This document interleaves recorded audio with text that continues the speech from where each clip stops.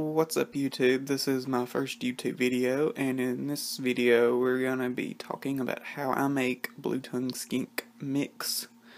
This one is the one I feed to them probably once or so a month depending on how busy I am. In it we're to be using some fresh turkey. The veggies are butternut squash, yellow squash, acorn squash, some carrots, some arugula, we have some brown eggs, and then some Merrick Backcountry dog food. I already have some open, so we're going to be using that up. Some chicken liver, some gizzards, and then some calcium D3, calcium no D3, and some multivitamins. So yeah, I'm going to blend the veggies up in a food processor and then we'll go from there. Okay, and we're back. Um, I food processed the arugula, the squash, the carrots, and then I added about half the egg along with some eggshell because it's a good source of calcium for them. And that's what's in here. And then in here is some of the dog food, turkey, chicken liver, chicken gizzards, um, and that's it and that's a nice gunky mush as you can see and I'm making three different batches for three different skinks depending on their age and how much protein they need. Um, so I'm about to do that. Um, for the oldest one he's two years old so he's getting a little more vegetables than the other and then the other one's one year old so she's getting about half and half, and then the newest one is a baby, so he's getting mostly meat for the higher protein level. So I'll do three different mixes and we'll come back. Okay, we're back. This is the one that's about 40% protein, 50% veggies, and like a 60%. I didn't do any fruit this time, so it's more 40% meat, 60% veggies. This one's about 50-50. And this one is mostly meat. I did barely any vegetables just to give them a little more vitamins and stuff.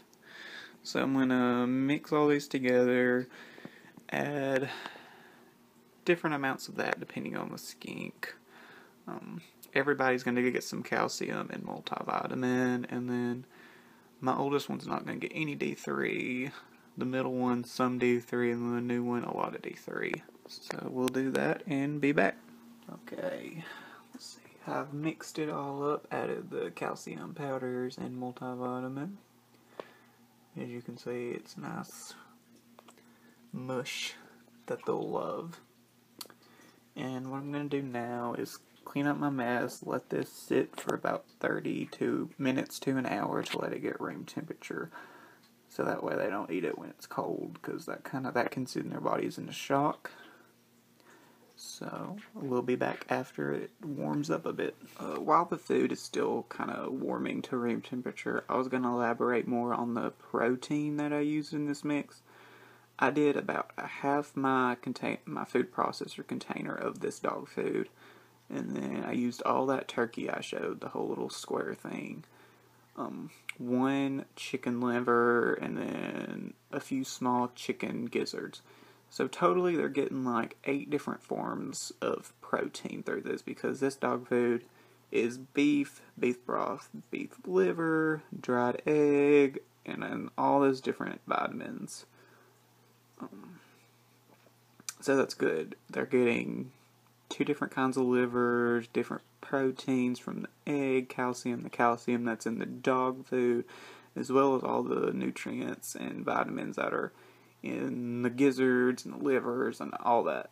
Um, so that's what you want. You don't want to just offer them a chicken breast or turkey, ground turkey, or anything like that because that really doesn't have that many nutrients in it. It's just protein whereas the dog food in general is protein with a whole balanced meal in one can, whereas with the skink chow I'm doing, you really have to balance all of it out with veggies that are good and nothing that cancels each other out.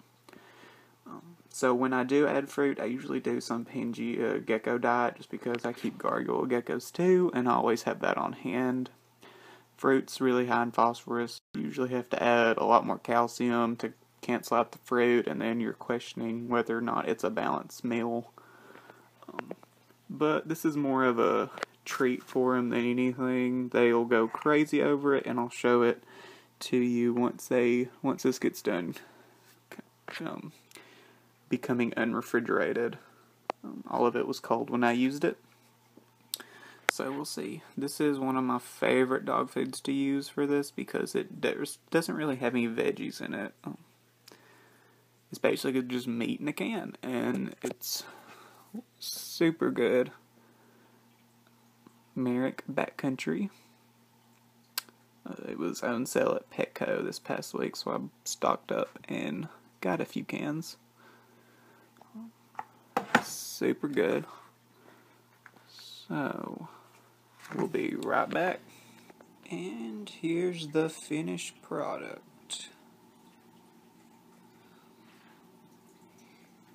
Bane is in shed right now, so he's a little darker than he usually is. And as you can see, he loves it.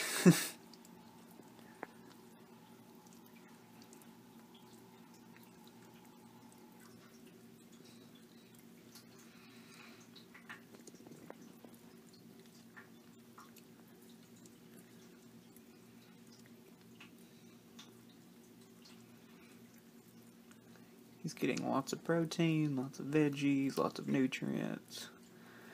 A good little meal for the week.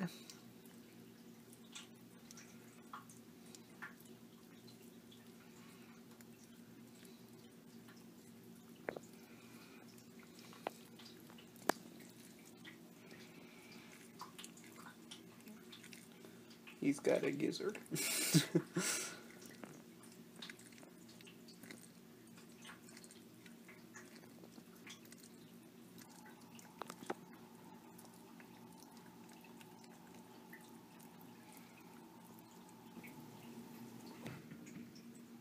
And here's Nissa enjoying her scrumptious chow.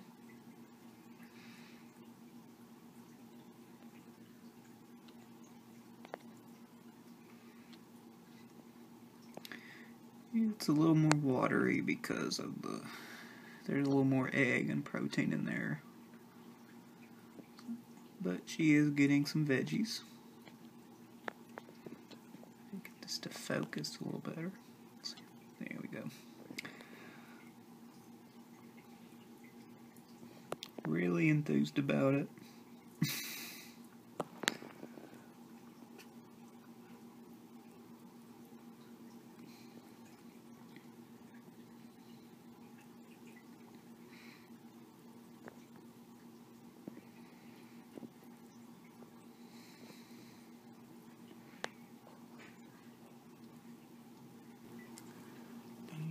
Bane is done. He's wiping his mouth off. as well as licking any remaining food that may be on there.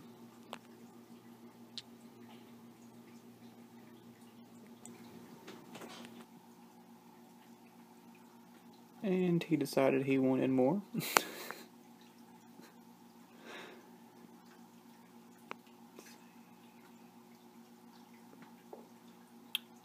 As you can tell, they really like this mix.